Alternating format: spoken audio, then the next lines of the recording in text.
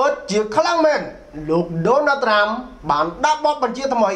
ដោយហាមជនអន្តោប្រវេសន៍មកកាន់សហរដ្ឋអាមេរិកចំនួន60ថ្ងៃ TNM ទូរទស្សន៍អនឡាញដំបូងគេនៅកម្ពុជា OS Rival Cambodia ជាផលិតផលអឯកហើយឈានមុខគេនៅកម្ពុជា ប្រធានាធិបតីអាមេរិកលោកដូណាល់ត្រាំបាននិយាយថា លោកបានចុះហត្ថលេខាលើបទបញ្ជាមួយ ដែលនឹងដាក់កំហិតលើការធ្វើអន្តោប្រវេសន៍មកកាន់សហរដ្ឋអាមេរិកក្នុងរយៈពេល60ថ្ងៃដើម្បីទប់ស្កាត់ COVID-19 នេះបើតាមការចេញផ្សាយដោយ ទីភ្នាក់ងារព័ត៌មានចិនស៊ីនហួរ នៅព្រឹកថ្ងៃប្រហ័សទី23ខែមេសាឆ្នាំ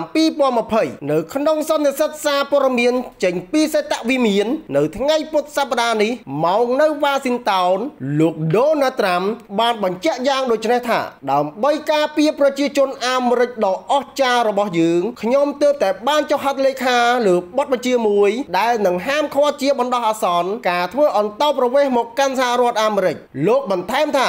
លោក អាចនឹងកែប្រែបទបញ្ជានេះកំឡុងរយៈពេល60ថ្ងៃឬក៏អាចនឹងបន្តអនុវត្តបទបញ្ជានេះអាស្រ័យទៅលើវាយតម្លៃស្ថានភាពបច្ចុប្បន្នបទបញ្ជាខាងលើនឹងត្រូវអនុវត្តចំពោះអ្នកក្រៅប្រទេសដែលកំពុងស្វែងរកការរស់នៅជាអចិន្ត្រៃយ៍នៅសហរដ្ឋអាមេរិកប៉ុណ្ណោះដោយវាមិនរាប់បញ្ចូលអ្នកកំពុងរស់នៅក្នុងសហរដ្ឋអាមេរិកស្រាប់និងកំពុងស្វែងរកការផ្លាស់ប្ដូរលក្ខន្តិកៈអន្តោប្រវេសន៍របស់ពួកគេនោះឡើយបន្ថែមពីលើបទបញ្ជានេះទៀតសោតក៏មិនរាប់បញ្ចូលអ្នកធ្វើការក្នុងវិស័យសំខាន់សំខាន់មួយចំនួនដូចជា គ្រូពេទ្យបុគ្គលិកសុខាភិបាលប្រពន្ធនិងកូន នៃពលរដ្ឋអាមេរិកសមាជិកគ្រួសារកងកម្លាំងប្រដាប់អាវុធរួមទាំងបុគ្គលិកដែលកំណត់ឬអនុវត្តដោយច្បាប់និងអ្នកប្រើប្រាស់ធិការការវិនិយោគនោះដែរខ្ញុំបាទសំណាង ពីទូទួលអនឡាញ TNM